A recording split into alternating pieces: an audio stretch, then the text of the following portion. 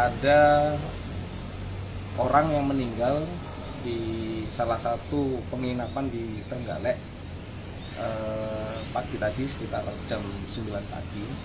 Setelah kita mendatangi ke TKP oleh tim olah TKP dan tim identifikasi termasuk tim kesehatan datang ke sana mengecek memang benar bahwa pada saat dilakukan penolongan untuk memberikan napas bantuan bahwa yang bersangkutan uh, sudah tidak bisa tertolong dan meninggal di dalam kamar. Uh, korban inisial S yang bersangkutan adalah warga Telungagung yang berprofesi sebagai pegawai negeri sipil di Telungagung. Saat ditemukan uh, si korban meninggal ini ternyata di dalam kamar itu si korban meninggal ini bersama rekan wanitanya di dalam kamar tersebut dan wanita yang e, menjadi rekan dari korban ini adalah e, sudah berusia dewasa. Jadi penyebab kematian eh, kita masih belum tahu penyebabnya seperti apa e, karena apa? Karena saat ini posisi korban masih di rumah sakit daerah di Trenggalek.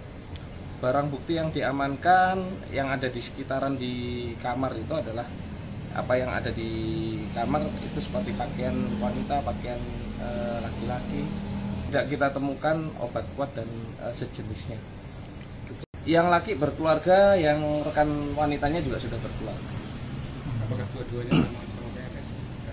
Ya, kebetulan yang e, mereka berdua sama-sama PNS, yang sama-sama PNS dari e, Tulungagung.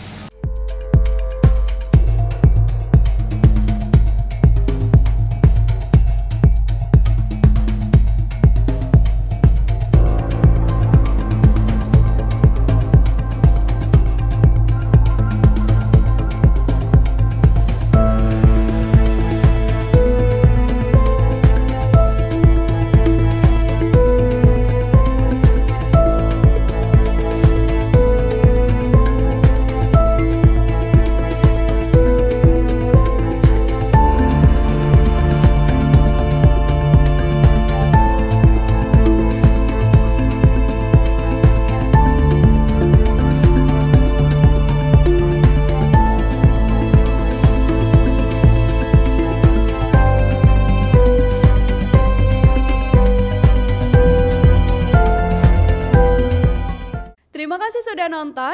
Jangan lupa like, subscribe, dan share ya.